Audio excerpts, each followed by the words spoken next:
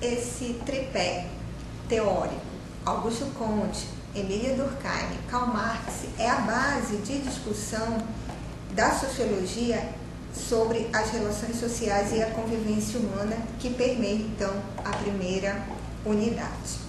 Nessa, nessa unidade, nós também temos a destacar o que seriam as relações sociais, as formas, as formas de convivência, as, na, as formas de troca que os indivíduos mantêm dentro da sua vida social.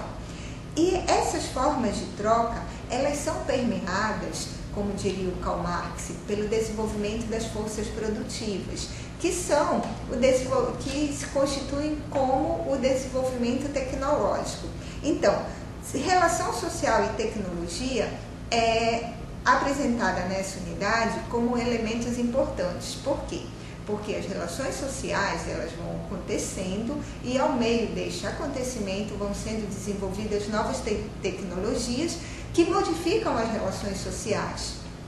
É como se as forças produtivas modificassem as relações sociais, que são construídas pelas próprias relações sociais. Então, o movimento intrínseco que faz parte da formação da sociedade.